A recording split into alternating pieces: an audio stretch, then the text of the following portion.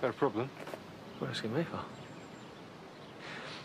You want to ditch the rabbit in the headlights thing, yeah? So it was both the embarrassment.